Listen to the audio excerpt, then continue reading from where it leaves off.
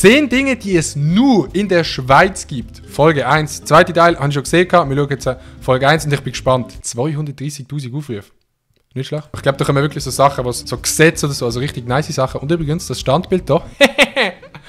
ich weiß, was das ist. Das ist die sogenannte Belchenflur. Ja?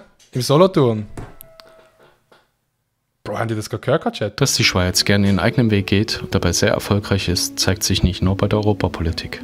Die Stimme ist auf jeden Fall sehr, sehr motiviert. Dabei gibt es ein paar Dinge, die in der Schweiz ziemlich einzigartig sind und Auswanderer sowie Touristen zum Staunen bringen.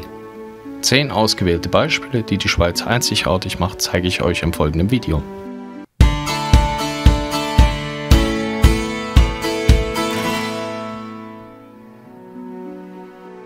Verrückte Wege, Kühe auf die Alm zu bringen.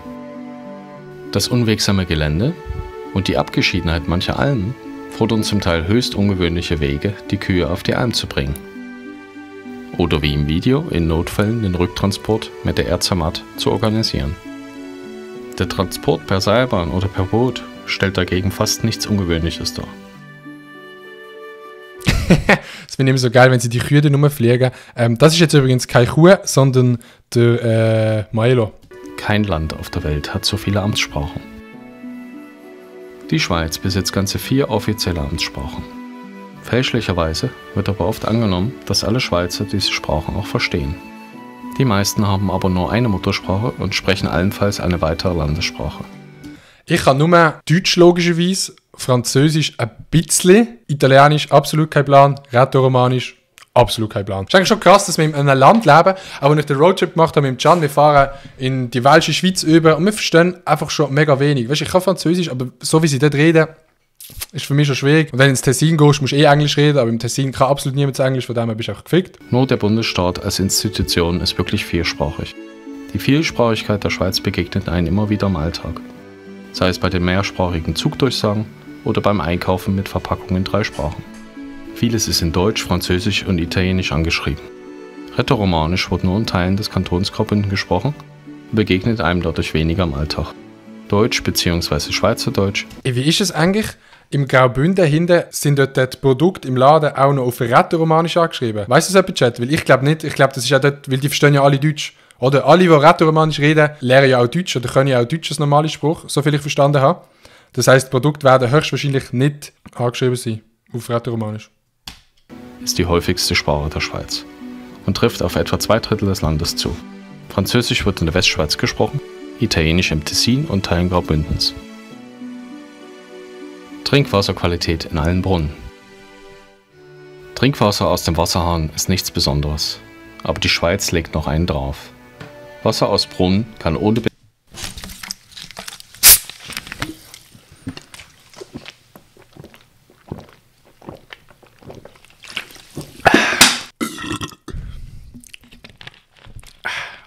Leute, die Angst haben, um in der Schweiz aus einem Brunnen zu trinken, sind für mich einfach komplett lost. Wenn du so irgendwann mit Kollegen am Chillen bist und sie sagen so, ich habe mega Durst, es ist ein chilliger Brunnen vorne dran und sie gehen einfach nicht trinken, weil sie Angst haben, dass das Wasser dreckig ist. Sag mal! Bedenken getrunken werden. Außer es wird explizit darauf hingewiesen, dass in einem Brunnen kein Trinkwasser fließt. Ja, die in dem Dorf haben Brunnen kein Trinkwasser. Doch, es steht einfach angeschrieben, dass man es nicht trinken kann. Aber ohne Scheiß, ich trinke aus jedem Brunnen Trinkwasser. Ich trinke sogar aus gewissen Seen. Also, jetzt nicht aus dem Thunersee, wenn du in den Bergen bist, gehst du echt zum See und nimmst Wasser. Auch allgemein ist die Wasserqualität in den Seen und Flüssen sehr gut. Und das nicht nur in den Bergen. Die Biese. In der Schweiz gibt es mit der Biese ein einzigartiges Windsystem, welches man sonst nirgendwo auf der Welt findet. Für die Entstehung muss in Nordeuropa, ein Tiefdruckgebiet und im Mittelmeerraum ein Hochdruckgebiet vorhanden sein. In der Folge entsteht der Biesenwind, welcher kalte Luft aus Nordosteuropa mitbringt und vom Bodensee durch das Mittelland über Genf bis nach Lyon in Frankreich weht. Durch das Juragebirge im Nordwesten der Schweiz wird der Windkanal zunehmend enger und die Windgeschwindigkeit immer höher. Dieser Geschwindigkeitseffekt und die Folgen sind besonders am Genfer See zu beobachten. Im Winter entsteht hier durch die Biese und Wasser sehr ungewöhnliche Eiskulpturen. Ihr kennt sicher den Effekt, wenn in der Wohnung zwei gegenüberliegende Fenster geöffnet sind. Iced out in real life und Justin wird es gefallen. Quadratische Flagge. Bölcher Flur schon wieder. Die Schweiz ist schon seit jeher stolz auf ihre Unabhängigkeit und geht gern ihre eigenen Wege. Kein Wunder also, dass auch die Flagge nicht dem typischen rechteckigen Muster der meisten anderen Länder folgt. Zusammen mit dem Vatikanstaat besitzt die Schweiz die einzigen quadratischen Flaggen. Die quadratische Form ist zwar beim Volkssportfahrenschwingen sehr praktisch, aber nicht der wahre Grund. Die Form kommt aus der Schweizer Militärgeschichte. Ursprünglich war das Weiße Kreuz ein Erkennungszeichen der Soldaten.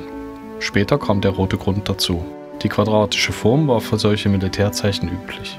Mit der Verfassung von 1848 wurde das Weiße Kreuz auf rotem Grund als offizielle Fahne der Schweiz festgelegt. Mit einer Ausnahme. Die Flagge zur See der Schweizer Schiffe.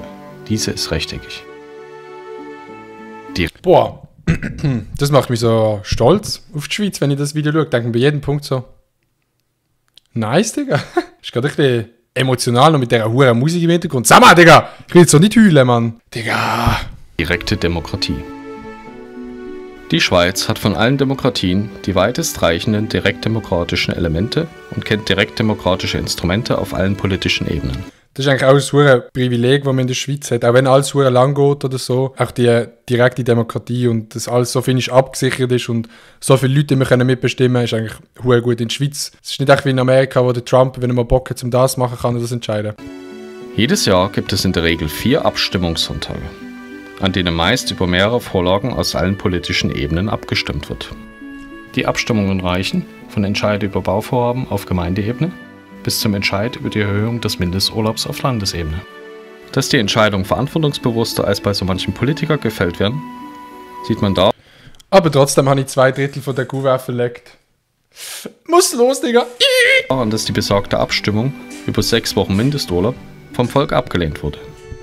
Oder kennt ihr Parlamente, die gegen eine Diätenerhöhung oder mehr Urlaub für sich selbst gestimmt haben? Mehrere tausend Franken für eine Autonummer. Ja, das kann sein. Aber ich weiß nicht, wie das in anderen Ländern ist. Ist das so teuer in der Schweiz? Maschallah. Ja gut, wenn du eins kaufst, aber das 81.485 ist doch nicht so teuer. Für niedrige und besondere Autonummern muss man in der Schweiz zum Teil sehr tief in die Tasche greifen. Fast alle Kantone verkaufen beliebte bzw. tiefe Nummern oder versteigern sie an den meistbietenden. Die Deutschschweizer Kantone nehmen damit pro Jahr mehr als 10 Millionen Franken ein. Ein lukrativ 10 Millionen! Nur mit fucking Autonummern, wo aus Aluminium sind. Schweiz! Schweiz, Digga! 10 von 10. Den Rekord bei den Autokennzeichen hält bisher die Autonummer 10. Die Nummer 1000 kostet in Zürich über 50.000 Stutz. Ja gut, äh, dann kaufen wir es einfach. ZG10 im Kanton Zug. 10 kostet 32.000. Digga, die Nummer in Zürich ist ja billig. Mit einem Preis von sage und schreibe 233.000 Schweizer Franken. Bei den Motorradkennzeichen ist der Rekordpreis zwar deutlich niedriger, aber mit 22.000 Franken für GR1 im Kanton Graubünden ist es immer noch ein teures Unterfangen. Aus diesem Grund werden besondere und niedrige Autonummern gern vererbt oder beim Wegzug innerhalb der Familie weitergegeben. In der Schweiz können Raser ihr Auto verlieren. Digga, die Musik hinter dran macht mich sehr. Kann der bitte mal die Musik ändern? Okay, in der Schweiz können Raser ihr Auto verlieren. Ja, in der Schweiz kannst du auch einfach nicht rasen, weil überall Blitze stehen. Die große Blitzerdichte und die hohen Verkehrsbußen der Schweiz haben sich mittlerweile bis ins Ausland rumgesprochen notorischen Rasern oder in Fällen extremer Geschwindigkeitsüberschreitung drohen dem Fahrer mittlerweile neben Führerausweisentzug Freiheitsstrafen oder auch die Beschlagnahmung des Autos. Das kann sogar so weit führen, dass das Auto verwertet oder vernichtet wird. Sehr schmerzhaft für die meisten Autoliebhaber. Ja, Digga, wieso soll es schmerzhaft sein, wenn du racen Logisch nehmen sie dir dann das Auto weg oder du musst den Ausweis abgeben, dann kannst du nicht denken, oh nein, jetzt haben sie mein Auto weggenommen. Sag mal, aber schnell fahren ähm, ist eh nicht so mein Ding.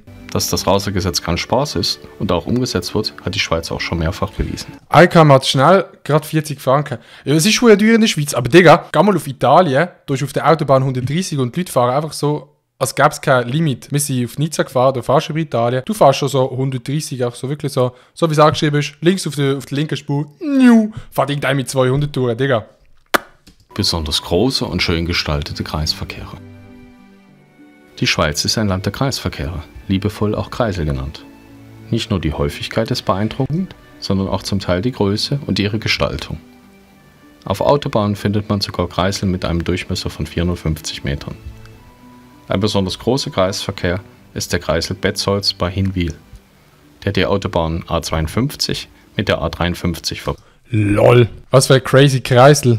Du kannst innen drin noch so Audi-Zeugs machen. Fühle ich fähig, Digga. Aber wer mal viel Kreisel will sehen, der muss auf Mallorca gehen. Digga, in Mallorca findest du einfach keine Kreuzung. Du findest keine Kreuzung. Jede Kreuzung ist ein Kreisel dort.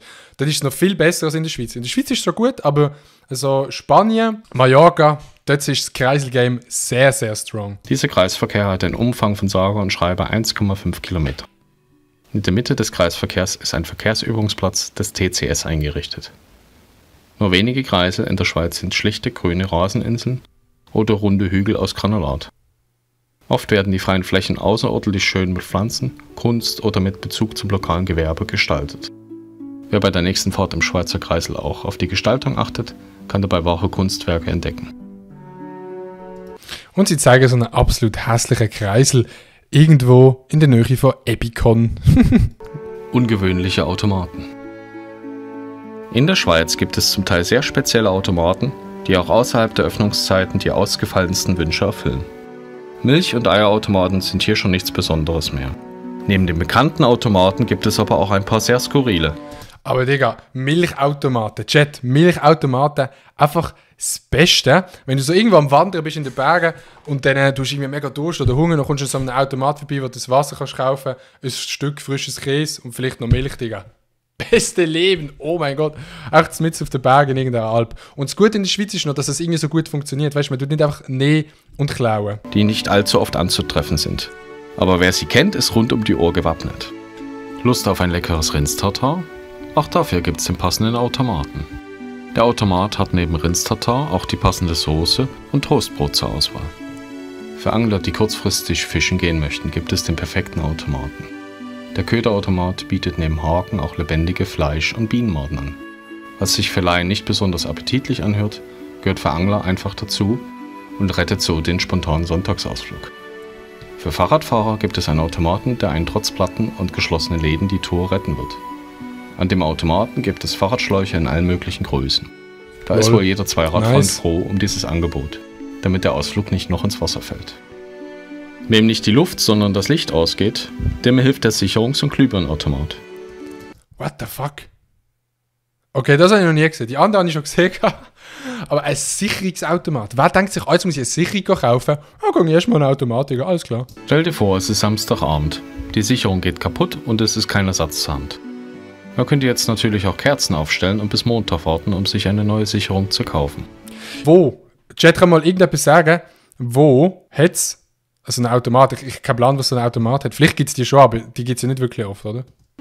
Oder man kennt den nächstgelegenen Sicherungsautomaten. Auch in gewöhnlichen Automaten verbergen sich für Nicht-Schweizer sonderbare Artikel. Dazu gehören zum Beispiel Cannabis-Eistee und Champagner. Mehr Informationen zu den hier gezeigten Automaten findet ihr in der Videobeschreibung. Kennt ihr noch weitere Einzigartigkeiten in der Schweiz? Ähm, ja, es gibt so einen YouTube-Kanal, der heißt, ähm, Chat, wie heißt der schon wieder? Äh, Ah, Adi Totoro, genau. Mit so einem Zweitkanal, Adilette, wo du jetzt gerade am Schauen bist. Kannst du mal ein Like geben aufs Video. Leider kann ich den Teil 2 nicht mehr schauen, weil ich den Teil 2 schon gesehen habe. Ja, nice, Digga. Cooles Video gesehen, Alter. Fühle ich mega, Mann, Bro. Danke vielmals, Alter.